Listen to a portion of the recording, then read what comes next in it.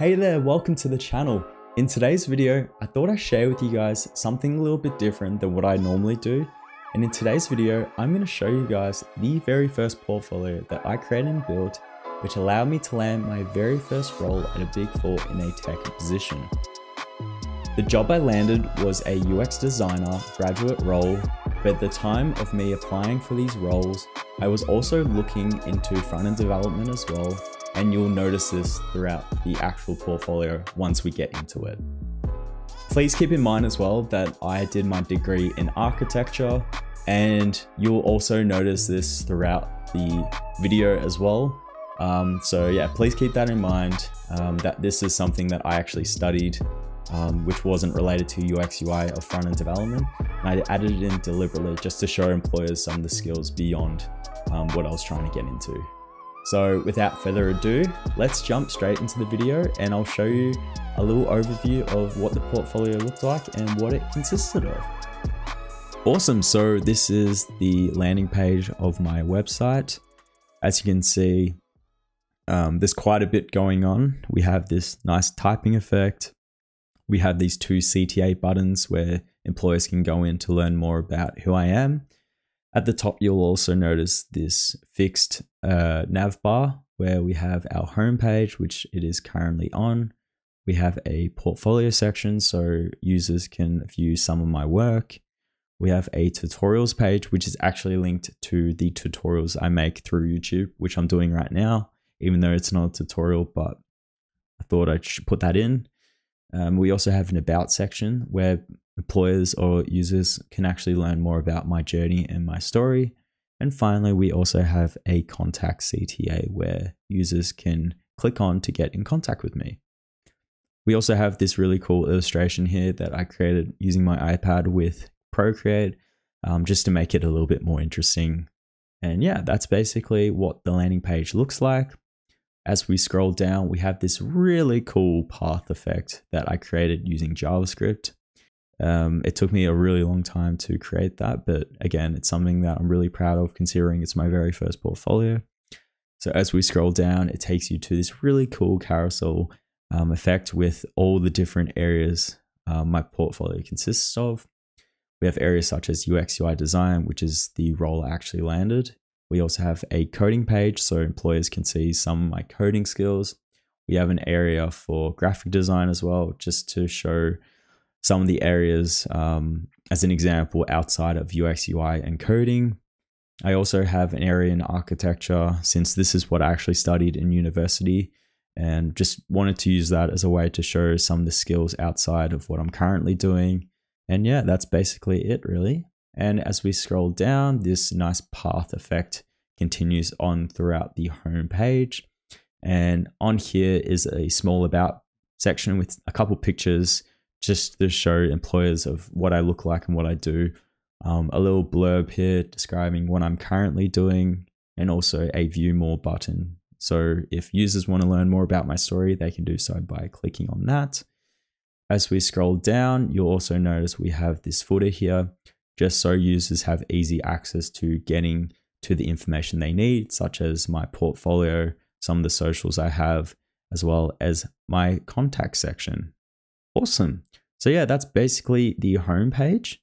And what we'll do now is we'll move into my very first section of the portfolio, which is UX UI design. So let's do that right now. As we click on it, this is what the landing page looks like.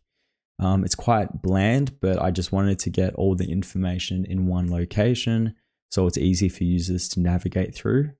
As we scroll down, you'll notice we have my very first case study that I created during university. Please keep in mind that this is completely self-taught.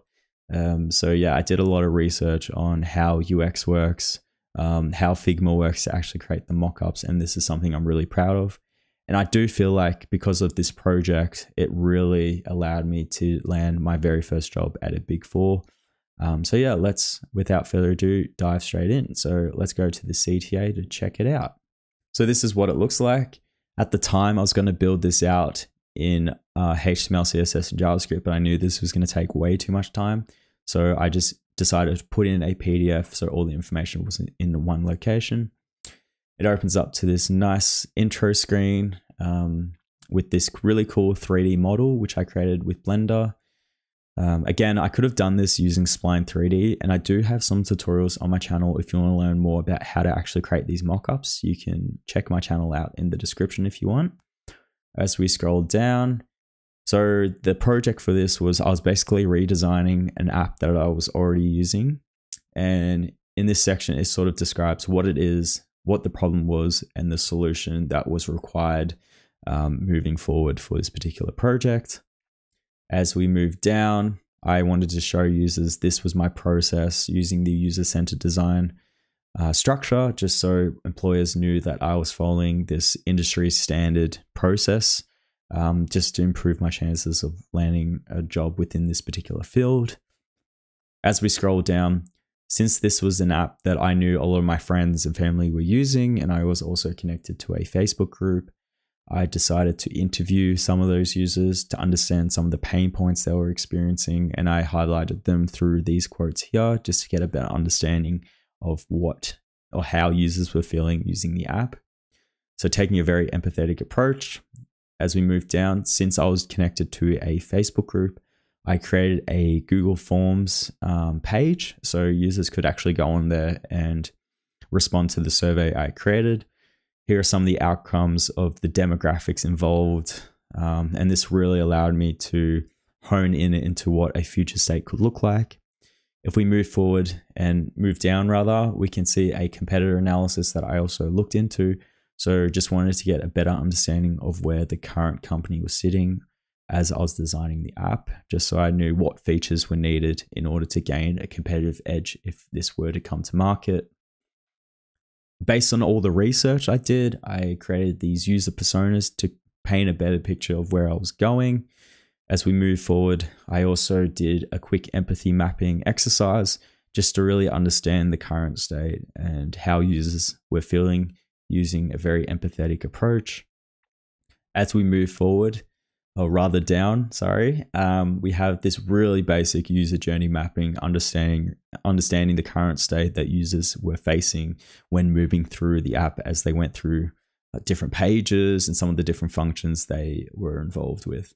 Um, so yeah, these sort of laid the foundations of what the current state was and led me into ideation, which is where I started to actually be creative, and this is where I really enjoyed and sort of showed employers really where the current state analysis resulted into these outcomes. Um, so I started off doing a user flow mapping, trying to understand how to make it as effective as possible for users to go through a particular app. I also drafted up a information architecture structure to understand how pages could work. And I do think um, by doing these two exercises, it really did allow the employers to really understand my thinking process. Moving forward, I also showed some very low fidelity sketches that I came up with on my iPad. Again, very basic sketches just to show employers my thinking process. As we move forward, we get straight into the high fidelity designs. Um, so, for the actual designs, I came up with a very small design system, which involved heaps of different uh, font types, font sizes, a whole range of different color palettes that I decided to stick with. And finally, the final screens that I created in Figma. Yeah, this is an area that I'm really proud of, and definitely the area where I really do think I sort of won the employers over. So, yeah, definitely putting something like this in as part of your journey is really crucial into showing some of your design skills if that's an area you sort of want to specialize in. And moving forward, once I designed them, I created a prototype and decided to go back to some of the users I interviewed and started to analyze how they went through the prototype. I made some comments around uh, what they liked about the design, what they didn't like, so that if I were to go back and redesign, I could learn from these mistakes. Um, so at the very end of the project, I had a quick reflection of my experience and what I learned and yeah, that's basically the end of the UX UI section. And this is sort of the area where I really do think um, allowed me to really get my very first job as a UX UI designer graduate. Awesome. So outside of UX UI design, I also was interested in going into front end development as well. So we're going to go straight into that now. So with front end development, again, during university, this is something that I was completely self taught in. I learned the basics of HTML, CSS, and JavaScript and built a whole bunch of projects. Um, and these designs were actually based off a third party website known as Front End Mentor. And the whole purpose of that website was to really train users how to actually build um, projects using various coding languages. Again, here, this was a to do list app, which I use with HTML, CSS, and JavaScript.